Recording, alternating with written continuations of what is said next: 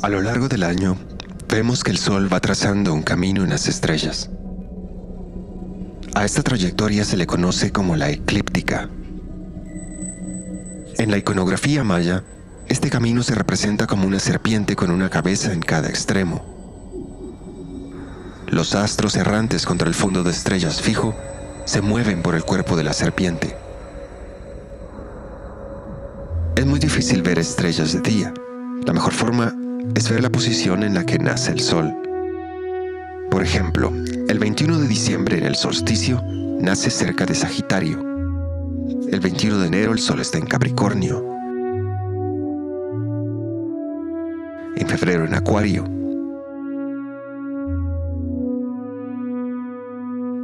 El 21 de marzo en el equinoccio de primavera el sol nace en Pisces. En abril en Aries mayo en Tauro.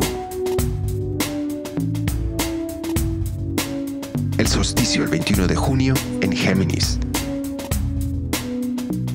El 21 de julio en Cáncer. En agosto, Leo. Septiembre 21 en Virgo. Luego Libra. En noviembre, Escorpión y el 21 de diciembre en Sagitario.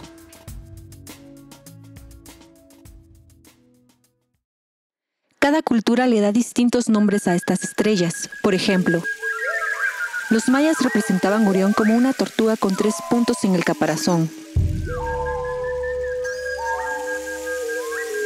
nadando en el mar primordial hacia el Sac B, Camino Blanco. Donde los remeros jaguar y mantarraya transportan a las almas hacia el más allá.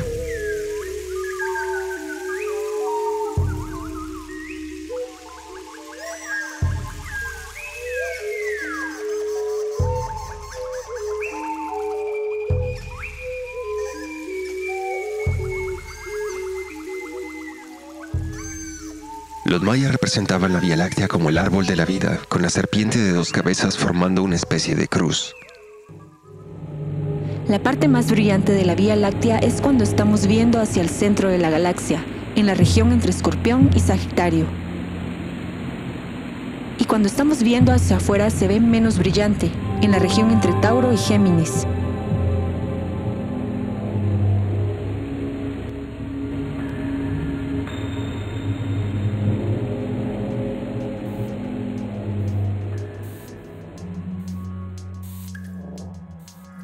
Podemos observar galaxias en todas direcciones del espacio.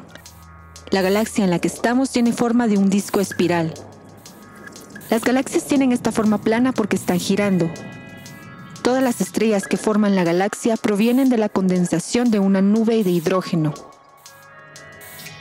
Nuestro Sol se encuentra en uno de los brazos de la espiral, más a la orilla que al centro. La luz se tarda 26.000 años en llegar del centro de la galaxia a nuestro sistema solar, de manera que cuando vemos hacia allá estamos viendo la luz que emitió hace 26.000 años. Cuando vemos la galaxia más cercana, Andrómeda, estamos viendo la luz que emitió hace 150 millones de años. Así, mientras más lejos vemos, más atrás en el tiempo estamos viendo.